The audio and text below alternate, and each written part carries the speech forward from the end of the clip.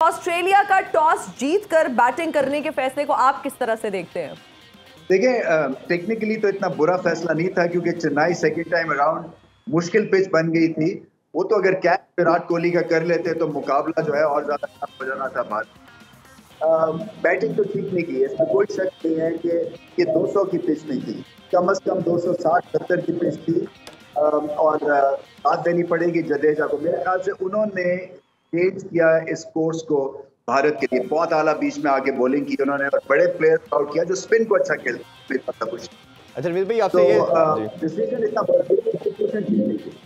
ये भाई जिस तरह आपने कल भी बताया कि ये 260 70 की पिच है लेकिन आईसीसी ने इसे बेसिकली तमाम इवेंट को देखना होता है और पिच में हमने देखा कि जिस तरह क्रैक्स थे और वेयर टेयर था एक तो इस हवाले से कैसे देखते हैं और दूसरा सारी दुनिया को पता है कि भारत की पिचें स्पिनर के लिए बेहतर है। ऑस्ट्रेलिया जो जम्पा के साथ आई है कोई उनके पास स्पेशल स्पिनर ही नहीं है। तो उसके साथ अगर आप वर्ल्ड कप जैसे मेगा इवेंट में आ रहे हैं तो इस डिसीज़न को कैसे देखते हैं सर नहीं, बिल्कुल थिन है इनकी स्पिन डिपार्टमेंट और जैम्पा भी जो है एक गेंद आगे, एक गेंद पीछे कंसिस्टेंट नहीं थे। और वहाँ पे अगर अच्छी वो बॉलिंग कर जाते तो फिर बहुत फ़र्क पड़ जाना था। और मैं ये एक्सपेक्ट कर रहा था कि ये मुश्किल होगा भारत को क्योंकि इतनी लंबी इनिंग्स खेल गए ये दोनों के राहुल और विराट कोहली। देखिए इस पिच पे एक तो आपकी बॉडी लैंग्वेज स्ट्रांग मांगती थी और वो आपको हमेशा विराट कोहली से मिलती है। और दूसरा टेक्नीशियन की ज़रूरत थी हम्म। क्योंकि ये टफ पिच थी। टेक्नीशियन है के एल राहुल क्योंकि उनकी टेक्निक बहुत अच्छी है। मगर इस डिपार्टमेंट के होते हुए ऑस्ट्रेलिया ज़्यादा आगे जाने वाला नहीं है। क्या समझते हैं इन दो तीन ऑलराउंडर इनके पास डगआउट में बैठे हैं इंग्लिश है इनके पास तो इनमें से कौन सा ऐसा ऑलराउंडर आप समझते हैं जो मिडिल ऑर्डर में आके और लेट मिडिल ऑर्डर में इफ़ेक्टिव हो सकता है? कोई भी नहीं।